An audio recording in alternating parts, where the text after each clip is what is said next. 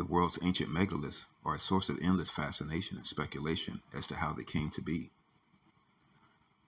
Extraordinary theories ranging from ancient aliens to more grounded but no less incredible theories of the brute force of tens or even hundreds of thousands of people, straining human muscle and bone to their literal limits, as well as extinct waterways used to transport the stones. And though it is possible that some of these materials could have been transported by ship and barges on rivers, artificial canals, or by sea, even in those cases, the ancient builders still would have to have transported massive amounts of materials a significant distance over land to the building sites. Even the fact that some of the stones are made of ancient concrete or geopolymers doesn't really alleviate the transportation dilemma, as in nearly every case, much of the materials used in the structures are sourced to quarries that are many miles away from the building sites. Therefore, hundreds to perhaps even thousands of tons of geopolymer material and rubble still would have to have been transported, not to mention the massive amounts of water needed to make the cement. Geopolymer mix may be easier to handle once at the site, but it will still be challenging to transport it in the needed amounts from the distant quarries and more nearby sources. Nevertheless, though some of the stones are made of ancient concrete, there are a great many that are giant natural stones, which were simply cut from the bedrock and transported whole. Some have speculated that giants are responsible for the megaliths, particularly the larger ones. I certainly don't discount giants as they are referenced in Scripture. Giants are even a reality today, though many of them often suffer from pituitary malfunction and various genetic weaknesses. Therefore, it is certainly reasonable to speculate that some giants in the past may not have had these weaknesses and may have been significantly larger and more physically powerful. A modern giant by the name of Angus MacAskill, shown in the photo here, is an example of a natural giant whose great height and girth was not the result of any pathology.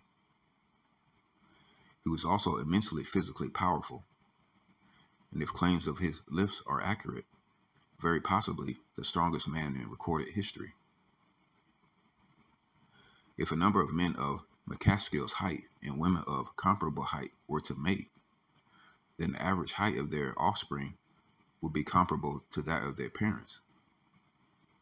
And according to a bell curve for height, a number of outliers would likely be generated as well, in which the resulting progeny would be significantly larger than even MacAskill, possibly attaining or even exceeding the great height of the giant Robert Wadlow, who measured in at just under 9 feet.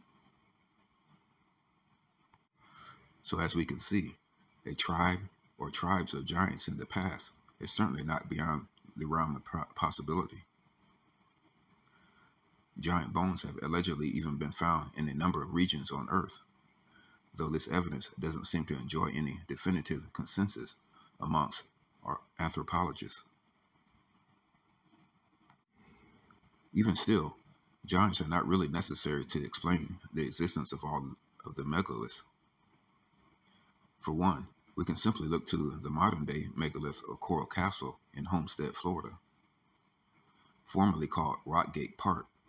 Coral Castle was built by Edward Leedskalnin, who, despite being a rather diminutive man, was able to move and erect stones which on average weighed about 14 tons. That's nearly six times the weight of the average two and a half ton stone used in the Great Pyramids. Additionally, moving many, many tons of rubble and ancient cement from quarries would have been problematic even for giants, as they would still have to have used some basic machinery just to move around such enormous amounts of loose material. Giants also can't really answer the question of how the stones were cut, shaped, and sculpted, especially with such astonishing precision.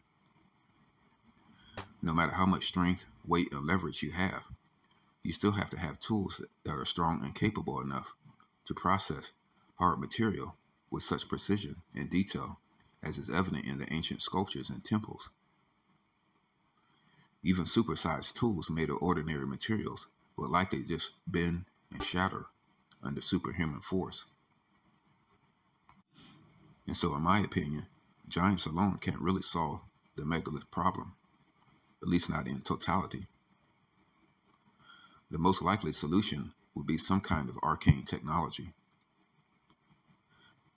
Let's envision a scenario where we had only just stumbled upon their structures today and didn't know how old they really were. We would readily conclude that they were constructed using some type of technology, as that's what we use to erect great structures today. But because we do have some idea of the great age of these structures, we normally don't even consider the possibility of sophisticated technology.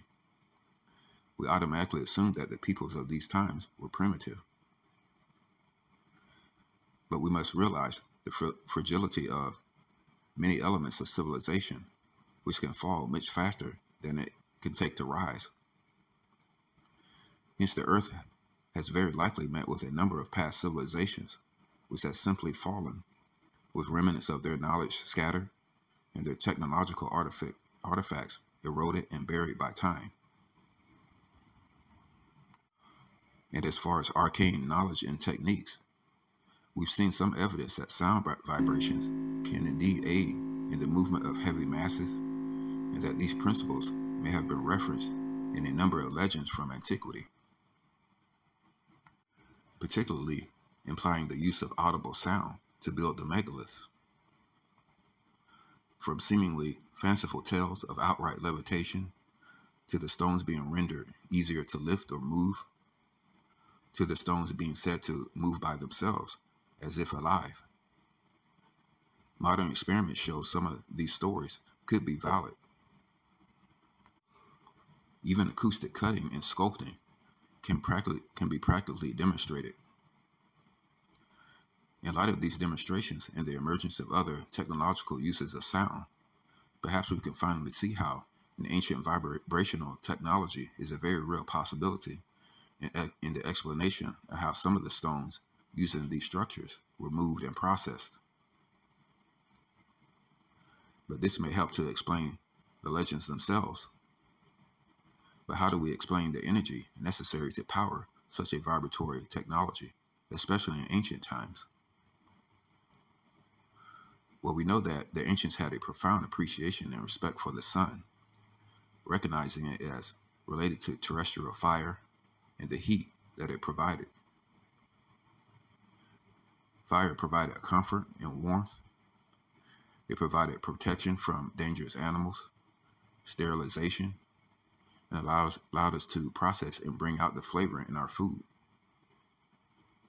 It is no wonder then that ancient societies constructed entire ideologies around the sun as the ultimate source of this life-giving light and heat energy.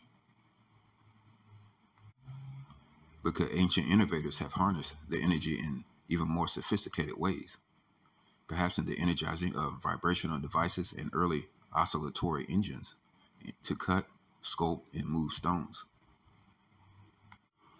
Is the functioning of such devices what are being referred to in the anecdotal accounts. Stay tuned as we, we investigate these very interesting questions.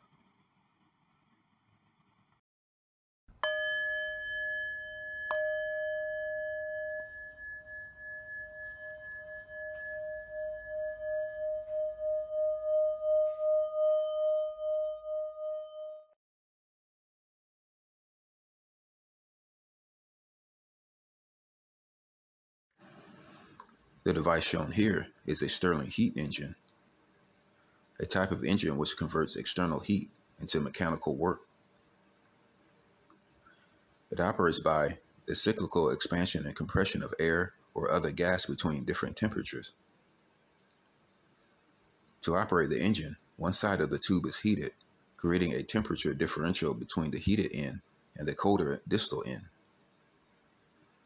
Heat energy then flows in the attempt to reestablish equilibrium. Work energy can be extracted from this flow of heat just as it can be extracted from the flow of water, air, or electricity, and can be similarly converted into rotary, vibratory, or oscillatory work.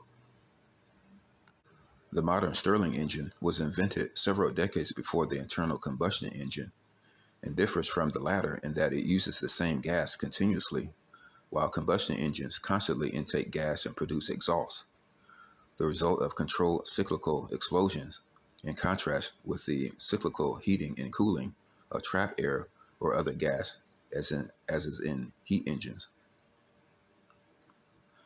The Stirling engine was invented by Robert Stirling in 1816 with the purpose of rivaling the modern steam engine, which itself was developed a century earlier. For about a hundred years, its practical use was generally confined to low power applications such as pumping water, operating church organs, and generating electricity before being replaced by cheaper electric motors. However, Due to the current growing interest in renewable energy, Stirling and other heat engines and devices have made a resurgence, being harnessed for use in hybrid electric cars, submarines, even by some of NASA's small spacecrafts.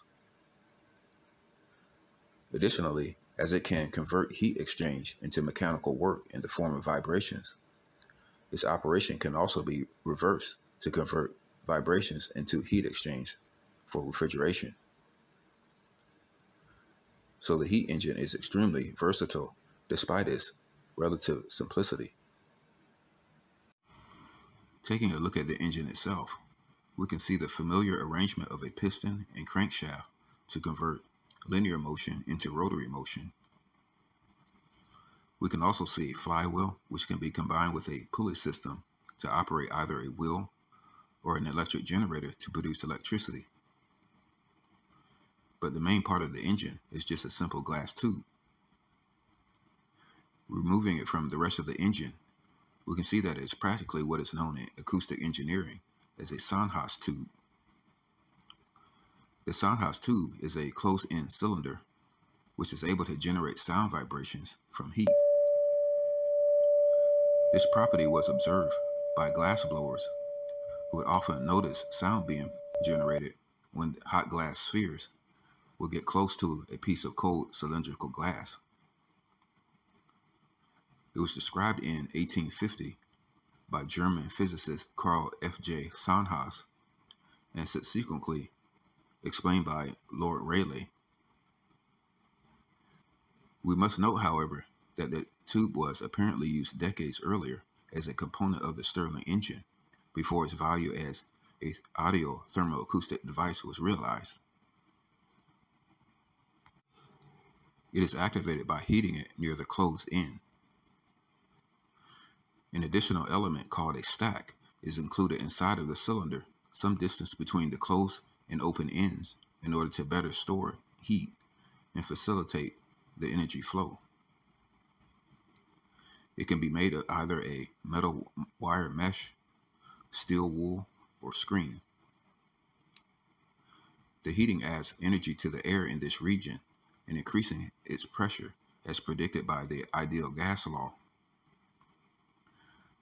The hot pressurized air will then flow from the closed end of the tube to the colder end, transferring its heat energy to the tube, cooling and reducing its pressure in the universal attempt to achieve energetic e equilibrium. The air flows past the open end, compressing the atmosphere and generating sound. The atmospheric pressure then pushes the cold, the cooled air back into the tube. The cycle then repeats itself, resulting in a self-amplifying standing wave, a condition which we know as resonance. The wavelength of the sound wave will be four times the length of the tube, as closed-end tubes are classified as quarter wave resonators. As we can hear, the sound produced can be quite strong, and is directly related to the temperature difference over the tube. Placing the tube back into the engine body, and we can now understand that the mechanical energy turning the flywheel is indeed generated by sound vibrations. This is why heat engines are classified as thermoacoustic devices.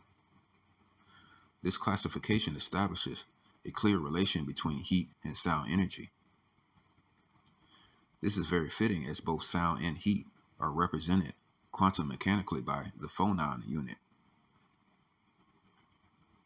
There are a number of such thermoacoustic devices.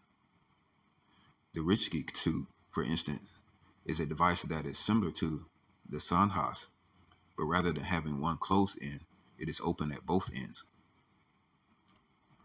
Because it is an open pipe resonator, it is classified as a half wave resonator, meaning that the fundamental wavelength is twice the length of the tube. As in the Sondhaus tube, the Rijke tube contains a stack made of a piece of steel gauze, but usually a screen. In this instance, the stack is usually directly heated by the source, but similarly creates a convection current.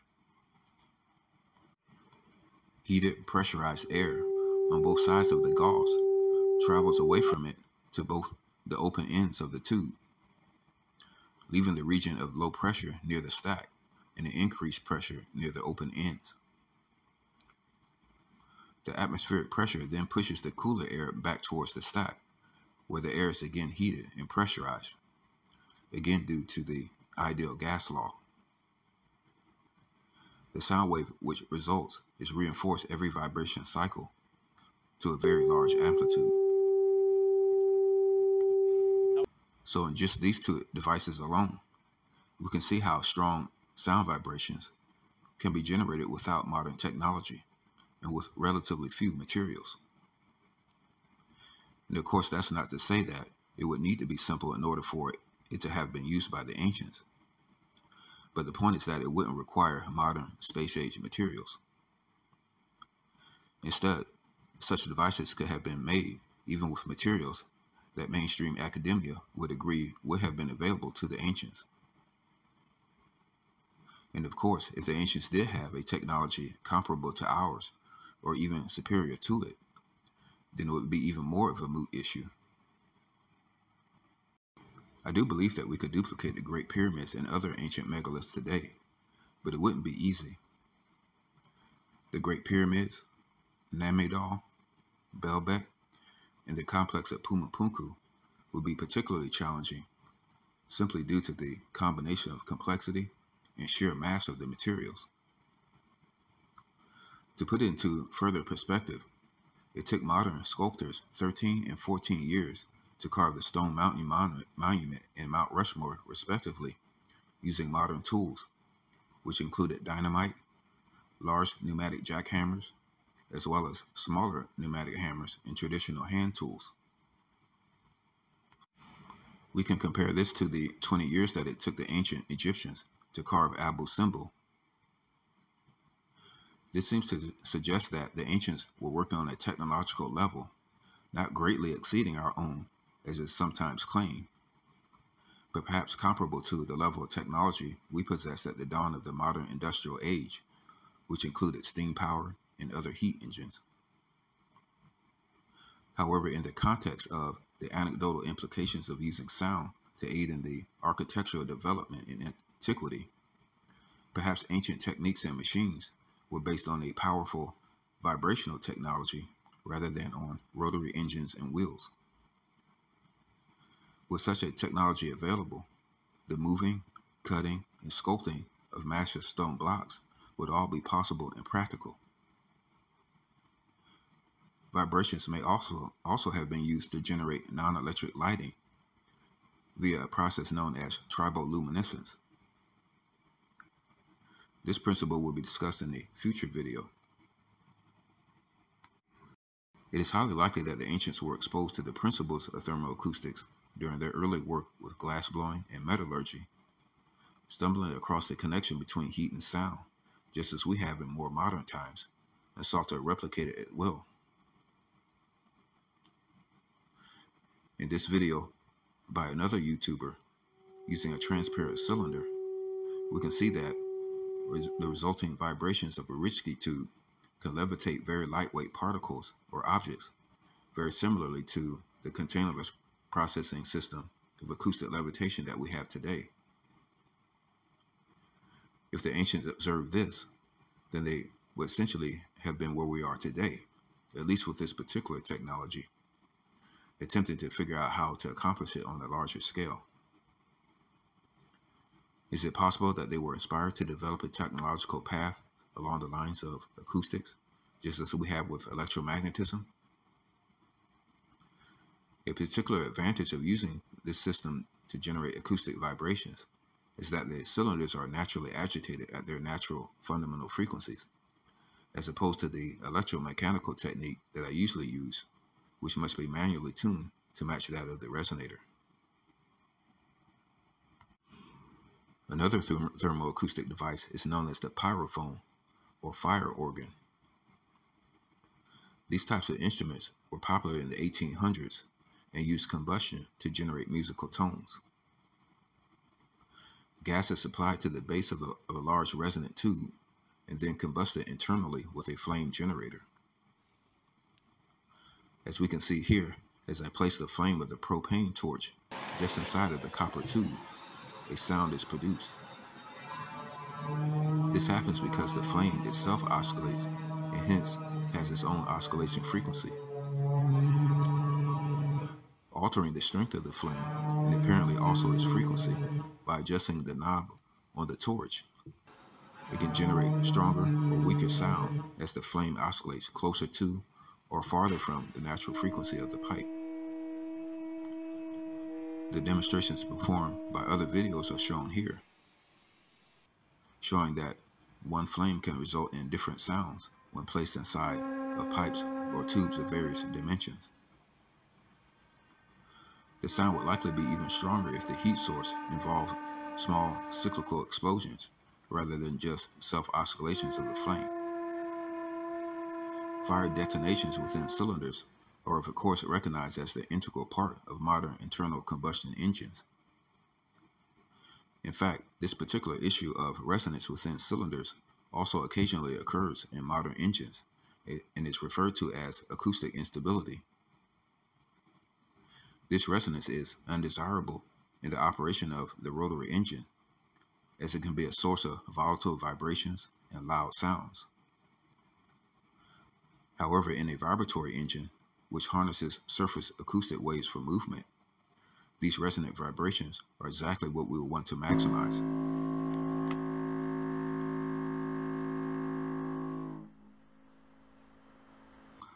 Calliopes, also known as steam organs, are very similar devices which were popular around the same time and operate by sending steam or compressed air through large whistles. During the use of the steam engine, the calliope was particularly used on riverboats and locomotives, which already had a ready supply of steam. They were also used in circuses and were so loud that they could be heard for miles. Any of these thermoacoustic devices could be turned into prime movers. Today we would most likely choose to use them in a rotary engine scheme, and so pistons, crankshafts, and flywheels would need to be added in order to convert the energy into work. But for a vibratory engine scheme, the device could be mounted onto a sled the entire contraption would then move via surface acoustic waves or render easier to push or pull due to acoustic lubrication. In the video, pushing more than a quarter ton with only one finger, the mo moving magic of sound, we saw that independent of input energy, acoustic lubrication is nearly as effective in reducing friction as the wheel. However, some might be skeptical as to the adequacy of the power output of heat engines to be a practical mo motive source.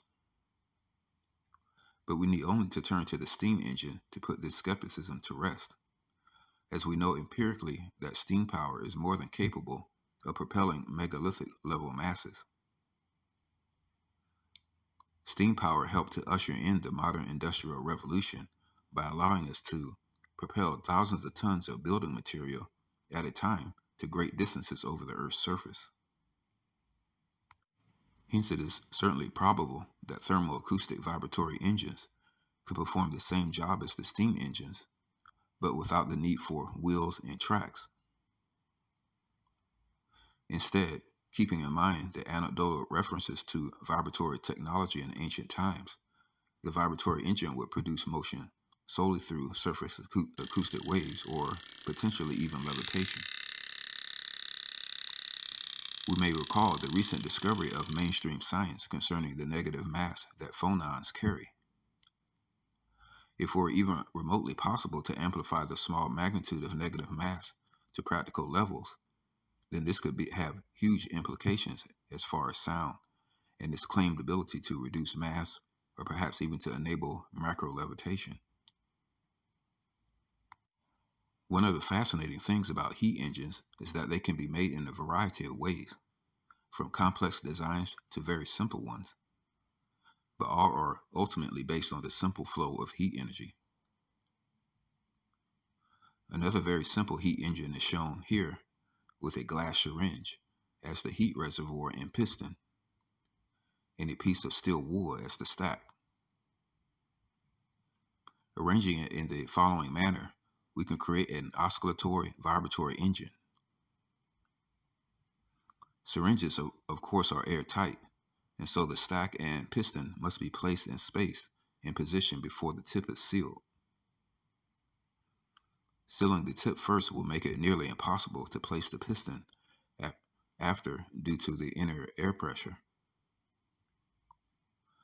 The tip can then be sealed by either melting and clamping it or by filling it with a high temperature silicone uh, putty.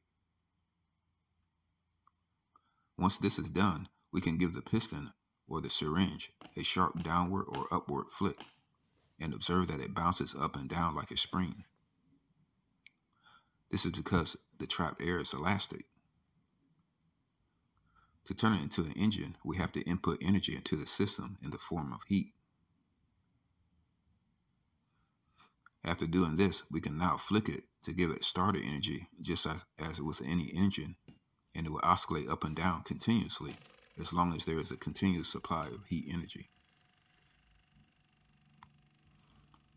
One thing that I noticed with this particular design is that while it demonstrates the conversion of heat to vibrations well enough to vigor vigorously move the piston up and down, the vibrations are easily attenuated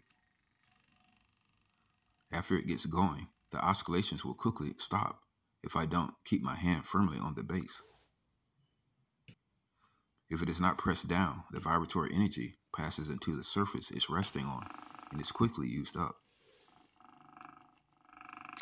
If the vibrations didn't fade away, the device would vibrate across the surface due to surface acoustic waves, just as with any adequately vibrating or oscillating object normally does but the energy density here is not adequate enough to do this. I also noticed that the heat engine made from the 10 milliliter syringe will oscillate re readily when heated with a propane torch. But I was unable to get the same result with a much larger 50 milliliter syringe, which apparently would need a much larger or hotter flame, and likely also a longer stack in order to energize this much larger surface area and vol volume. There are ways to rectify this, but as with any technology, we must also look towards the properties of the materials used. Glass is a pretty good retainer of heat. It also focuses heat very well, as with a magnifying glass focusing sunlight. But it is a poor conductor of heat, much poorer than metal. In fact, it is a poorer conductor of heat than copper in particular by about 400 times. And so it is likely that the glass is simply not able to conduct the heat faster than it is being lost through radiation, thus resulting in low power. It is likely that a device made from copper, or perhaps a combination of copper and glass, would render a more powerful engine, as heat would be conducted more efficiently. In fact, a glass conduit with a steel wool stack inside and arranged between two metallic conduits, as shown in the figure, would utilize the insulator properties of, of glass and the thermal conductivity properties of metal. More specifically, the glass separating the two metal tubes will allow for a very stable temperature difference or thermal potential between the two metal tubes. This should in turn allow for an efficient flow of heat from the hot tube through the glass and porous stack to the cold tube. The following demonstration here from YouTuber Robert Murray Smith shows this principle in action. Again, we can see just how few materials are needed to generate strong acoustic vibrations without modern electronics, and all from the simple flow of heat energy. We can compare this flow of heat energy to the flow of electrical energy within a circuit, as a heat energy circuit obeys similar laws of conductance and resistance. For instance, an electric motor will perform significantly more work when connected to a battery via thick copper wires than it will when using two cups of water as the conductors. Pure water is a much poorer conductor of electricity than copper and other metals. And so using metals of various properties of thermal resistance, conductance, and capacitance, heat flow can be controlled and guided as needed to create a variety of effects. Glass's ability to retain heat enables it to function as a type of thermal capacitor. Along with materials with properties of thermal resistance and thermal conductance, we can indeed see elements of circuitry. Just as we, just as we use electrical potential in the flow of electricity to run rotary electric motors today, Perhaps we can more easily imagine how the ancients could have used heat potential in the flow of heat energy to run vibratory motors without modern technology. But going back to the syringe heat engine, just as with the Stirling version, it operates by heating and pressurizing the internal air, which then expands in the direction of the cold end, carrying the energy to push the piston out and performing work. Once this energy is released, the atmospheric pressure pushes the piston back in towards the steel wool stack, where the process repeats itself. This cyclical work energy is realized in the form of pressure waves or acoustic vibrations. We might even theorize that a large musical instrument vibrating at a harmonic of the engine could potentially add additional energy into the system. Perhaps we could also imagine a platform loaded with stones being moved by a much larger version of such a vibratory oscillatory engine. Groups of people on either side could add vibratory energy by stomping on the ground and playing large musical instruments with frequencies tuned in resonance with the engine. In fact, due to the natural elasticity of air, it would likely be possible to run such a vibratory engine even without heat energy instead using only the powerful pulsations of acoustic energy from the instruments and the stomping. Though harnessing heat energy to greatly aid in this process would seem like a natural progression of such a technique. So once again, we see just how few materials are needed to create such a prime mover. It is really the knowledge of thermodynamics and sound which is key. Material-wise, the most vital part of the construction is the airtight cylinder, which could be made from metal just as with glass in the model here. Airtight construction involves great precision, but we know that the ancients could work with very precise parameters even on a multi-ton scale. In fact, I might submit that all of the planning and engineering that went into the pyramids, Nan Madol, Pumapunku, etc., was a significantly more challenging and complex engineering process than that which would be required to build a large-scale version of this device using ancient materials. But are there any specific references in the ancient accounts regarding both the use of heat and sound? Actually, there are two anecdotal accounts related to the ruins of Tiwanaku, an ancient megalith near Lake Titicaca in modern day Bolivia, particularly in referring to how the multi ton blocks were transported from quarries over 30 miles away. It says here that, according to the local Aymara Indians, the complex was built at the beginning of time by the founder god Viracocha and his followers, who caused the stones to be carried through the air to the sound of a trumpet. An alternative theme is that they created a heavenly fire that consumed the stones and enabled large blocks to be lifted by hand as if they were cork. These are fascinating accounts indeed. But why are there two different narratives given for the construction technique of this site? Is it possible that they are not mutually exclusive of each other? One account refers to the sonic energy of a trumpet, and the other the heat energy of fire. Could these two traditions actually be loosely referring to an ancient thermoacoustic technology? What was this heavenly fire? Was it lightning?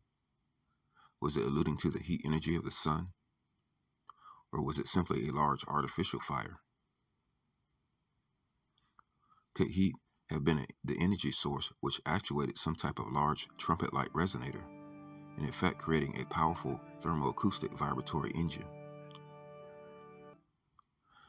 If such is the case, would essentially be describing a type of internal combustion device in ancient times. Another interesting thing to notice is that the stones were said to have been consumed, but they obviously were not destroyed something we typically associated with consumption of something.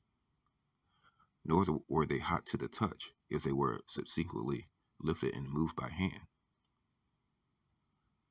The energy required to move stones of that size and weight would most certainly have required the energetic output of a very large fire or solar heat capturing device. Large enough that the flames or light, respectively, may have appeared to have encapsulated or consumed the stones themselves. We can get an idea of this in reference to modern jet propulsion used in race cars and rockets. From a certain vantage point, it might appear that the race cars or rockets are on fire or, in, or are in danger of being consumed by it. However, we know that the fire is only the byproduct of combustion Is this also the case with the Tiwanaku accounts?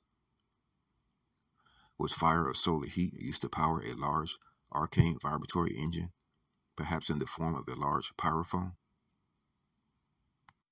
Or perhaps even a series of pyrophones mounted onto a sled contraption?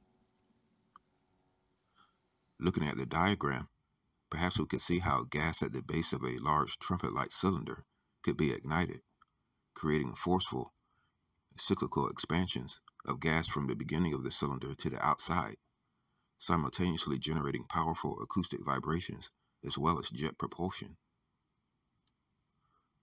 With the vibrations minimizing the friction through acoustic lubrication and surface acoustic wave, a rudimentary jet propulsion as a byproduct of the expanding gas could simultaneously propel the contraption loaded with a number of stones in the desired direction. I will attempt to build such a device for a demonstration in a future video.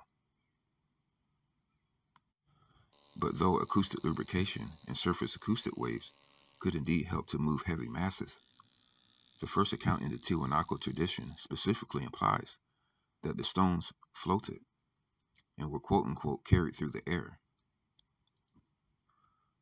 Again, if we merge both accounts together, it appears that this heavenly fire made the blocks not only easier to move and lift, but in some cases even allowed them to float in the air, just as in other similar traditions.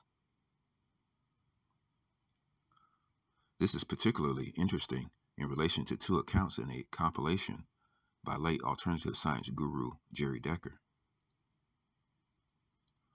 In Decker's Anti-Gravity Correlatives article, two accounts mention curious thermal effects reportedly observed by John Worrell Keely and Nikola Tesla during their alleged levitation experiments. The passage here describes an experiment by Keely in which he places a wire or ring around an object. The ring is then fed with a frequency or chord that resonates with the mass, enabling it to levitate. But the pertinent part is here, where it says that Keely also reported a cooling effect of the local air when the levitation effect was in operation. It's almost as if heat energy were somehow being extracted or transferred from the immediate ambient air to the levitation device or mass, thus leaving the air cool. The second correlator relates to an account where Nikola Tesla says, I can place a ring around the Earth at the equator and move it anywhere I so wish. It is claimed that Tesla built a levitating sphere comprised of a ball with a single ring at the equator. When this ring was fed with an alternating current at high potential, one half of the sphere became very hot and the other very cold. The sphere levitated to a height dependent on the energy applied. Unfortunately, it doesn't say whether the hot and cold region were divided into top and bottom or left and right. However, we do know that when hot and cold objects or regions are adjacent to each other, that there's a flow of heat energy. In this case, of course, it would have flowed from the hot side of the sphere to the cold side. Do these purported experiments by Keely and Tesla and the apparent thermodynamic effects involved have any relation to the pyrolevitation effects that were theorized earlier in the Tiwanaku story? Do they also depict a relation between thermoacoustics and the an actual control over the force of gravity?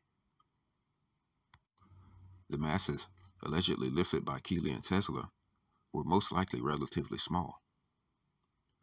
And so if a similar principle was used in Tiwanaku, where the huge masses of the stones require so much energy that the heat flow would manifest as the quote-unquote heavenly fire? These questions are even more interesting considering recent scientific discoveries in which it has been demonstrated that thermal levitation is possible. Thermodynamic levitation works by exploiting temperature differences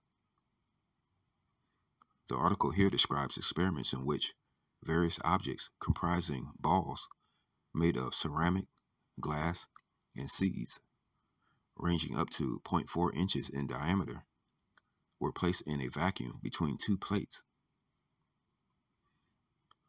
The bottom plate was made of copper and had a constant room temperature, while the top stainless steel plate was cooled to nearly minus 300 degrees Fahrenheit by liquid nitrogen. Naturally, the heat gradient moves from the bottom plate, which is warmer, to the top plate. Because the temperature difference is so, hu so huge, this variation can sweep particles along the gradient. Now we should especially note that these experiments were carried out within a vacuum, and hence the levitation does not rely on the convection of air carrying the objects along. Instead, the movement is due to what is called thermophoresis, the transport, transport force occurring due to a temperature gradient. If this thermophoresic force was in any way related to Tesla's experiment, we might theorize that the hot and cold regions were divided into top and bottom. Of course, this process so far, like with modern acoustic containerless processing, it is, is describing the levitation of small objects. But could the principle also work on much larger scales? We should also remember that just as heat transfer can produce sound vibrations, so too can sound vibrations produce heat transfer. Is this the effect that both Keely and Tesla were observing, since Keely used acoustic vibrations and Tesla electrical vibrations? And if so, then were these thermal effects the cause of movement of the masses or simply the byproduct? We should also recall once more that both heat and sound are represented by the phonon, and that phonons have been demonstrated to carry negative mass, meaning that they tend to rise within a gravitational field.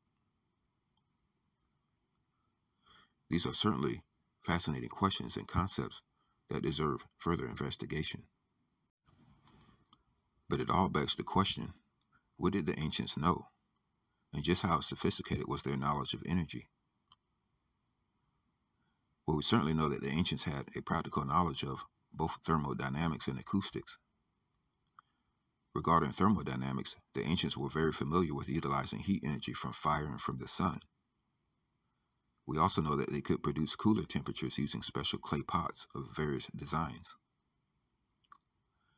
The Hindi matki, the Egyptian kulah, for example, along with many other such pots found in the Indus Valley, Egypt, and in the rest of Africa, are all examples of such pots, which could keep foods and liquids cool without modern technology, using the process of evaporative cooling. Evaporative cooling is based on the thermodynamics of the evaporation of water, or the changing from the liquid phase into the vaporic phase. When the warm contents of a container are surrounded by water, which subsequently evaporates, heat energy is removed, leaving the contents of the container at a significantly lower temperature. But evaporative cooling can also be achieved through the use of wind. This was realized in architectural elements called wind catchers that were used in Egypt and Persia thousands of years ago. They were built in the form of wind shafts on the roofs of buildings. The cooling pots and wind catchers both involve the exchange and transfer of heat energy, and thus emphatically proves that the ancients had a sophisticated and practical knowledge of thermodynamics. This type of cooling is so cost effective and dependable that it is still used in many arid regions today, though they are sometimes used in conjunction with modern electric fans for enhanced effectiveness. And regarding acoustics, there's also ample evidence of the ancients' understanding of sound engineering. We see undeniable evidence of this in such ancient structures as the Great Pyramid of Chichen Itza in Yucatan, Mexico. Clapping in the direction of this ancient Mayan temple produces an echo which sounds like the chirp of the local quetzal bird. We also see the application of this knowledge in the Greek amphitheater at Epidaurus, which was constructed in the 4th century BC. The acoustic properties relied on the detailed ge geometry of the seating area and was said to be of such quality that even in the back row, the audience could hear crystal clear speech from the performers on stage. And this over 2,000 years before the invention of microphones and loudspeakers. Notice how the entire theater itself is shaped like a giant sound amplifying parabolic dish that is facing upward. What we do today with space age metals and materials, the ancients did with large amounts of stone.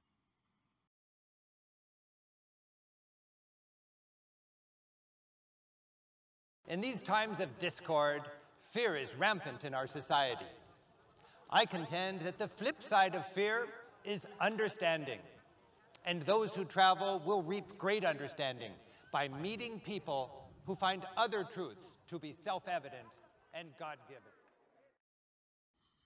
Similar acoustic feats have also been found in the Malta Hypogeum, the King's Chamber in the Great Pyramid, and even Stonehenge.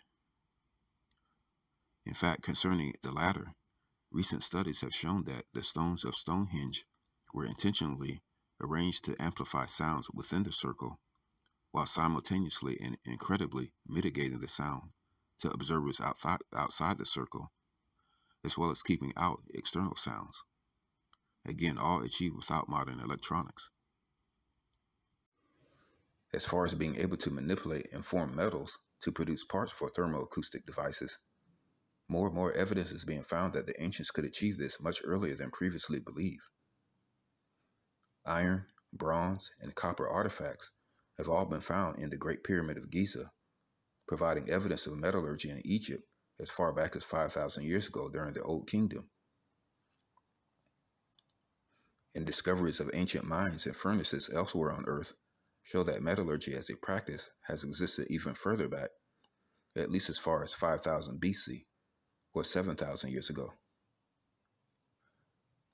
Metalworking would have gradually been extended from producing tools to musical instruments to perhaps even large cylinders. 5,000 year old metallic cylinders the size of modern straws have definitely been found, and much larger pipe like cylinders have been claimed, though the supporting evidence thus far is inconclusive. Therefore, it shouldn't be surprising that there is evidence of mechanization in the ancient world. For instance, the first recorded rudimentary steam engine was the Aeolipile, mentioned by Roman architect and engineer Vitruvius between 30 and 15 BC. The device and principles were later described and perhaps constructed by the Greek Egyptian mathematician and engineer Heron of Alexandria in the following century during the Roman period of Egypt. What's also interesting is that many have credited Heron with the invention of the Pal, even though it was mentioned by Vitruvius several decades earlier. It also seems that Vitruvius himself was not the inventor. Instead, the implication is that the concept of steam propulsion goes much further back, perhaps many centuries earlier. This deduction seems to be supported by the fact that some of Heron's work is a studious compilation of knowledge and concepts passed down from ancient Egypt and ancient Babylon, the latter which has been considered as the center of Mesopotamian uh, civilization from roughly 2000 BC to 540 BC, giving us a rough idea just how old these concepts actually are.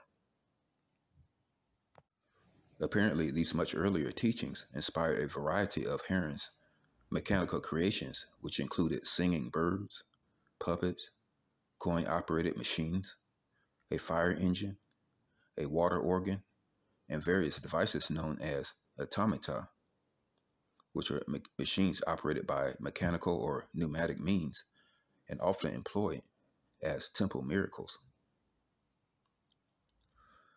This work is cited by Pappus of Alexandria, as is also the Baroulkos, or methods of lifting heavy weights. Mechanica is based on the work of Archimedes, who also studied at the Library of Alexandria, and presents a wide range of engineering principles, including a theory of motion, a theory of balance, methods of lifting and transporting heavy objects with mechanical devices, and how to calculate the center of gravity for various simple shapes. And so we can plainly see that the concept of heat energy, including steam, as well as a number of mechanical devices, are not solely a result of our modern age. Instead, these concepts go back thousands of years, very possibly before even ancient Mesopotamia and Egypt. It also brings up another interesting point, and that is that the uh, Aeolipile is not the direct ancestor of the modern steam engine. In other words, the modern steam engine is an independent invention and is separated from the uh, Aeolipile by at least 2,000 years, thus proving that different peoples from different cultures and vastly different eras could indeed come up with similar concepts and ideas. For those who believe that these ancient feats could only have been achieved by aliens or with the help of, help of aliens, consider this. If ETs were visiting Earth, we have to consider that they had independently discovered all of the same laws of motion and relativity as we have, and much, much more. Though they would likely be vastly different from us, they would have to have developed vastly similar concepts. This follows as mathematics, for instance, is a universal language. And so, should it be so difficult to consider the possibility that our own ancient ancestors, likewise, also independently conceptualized and developed mechanized tools, conveyances, and other tech which we typically ascribe only to our own age? These realizations make the existence of an ancient thermoacoustic technology much more plausible, perhaps allowing us to view tra traditions such as the one from Tiwanaku from a different perspective. And so the question is, are these accounts of moving the Tiwanaku stones, for instance, as described, 100% factual? Are they complete fabrication? Or are they a mixture of myth and fact? Many ancient societies were founded on oral cultures and hence passed on information and knowledge via song, symbology, and stories. And as such, the blending of legend and actual occurrences may have easily happened. With oral storytelling, there can be a merging and even an embellishment of certain details, just as we often see with the propagation of rumors. Repeated renderings of stories and, accounts may often involve certain embellishments and added details by storytellers in order to breathe new life into the stories, or even reframings to make the stories more relevant to the time or situation at hand. Such reframings could involve the, the transition from technological elements to magical elements, for instance. Is this the case with the Tiwanaku traditions mentioned earlier? Do these tales of magic actually contain elements of a very real thermoacoustic technology in antiquity? It is certainly an intriguing thought, at the very least.